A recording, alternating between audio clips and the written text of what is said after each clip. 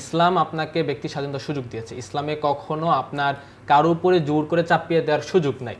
ইসলাম কারোর উপর লাইকরা হাফিদ্দিন ইসলামে কোনো কোনো জোর জবস্তিতা নাই। এখন যে বিষয়টা বললেন যে, পোশাকের যে বিষয়টা বলছেন যে, পোশাক, আমি এখানে একটা অ্যাড করতে চাই। আন্দোলনের সময় আন্দোলনের কেন্দ্রিক। দেখা যাচ্ছে যে, আন্দোলনের সময় আমরা যে, আমরা কিন্তু মাদ্রাসার যারা ছাত্র ছিল আমরা কিন্তু যে আমাদের পোশাক যে পাঞ্জাবি, পায়জামা টুপি পরে যাই নাই।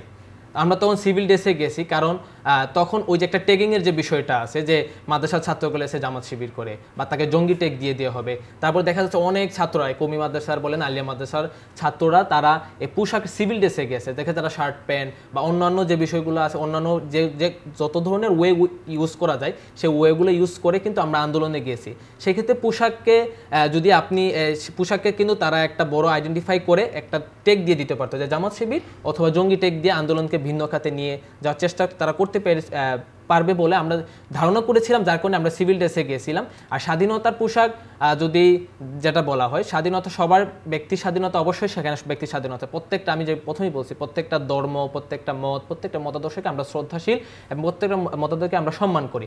যে যে মতের আমরা সেই মতকে শ্রদ্ধা করি। সেখানে আমরা কোনো বৈষম্য আমরা দেখব না।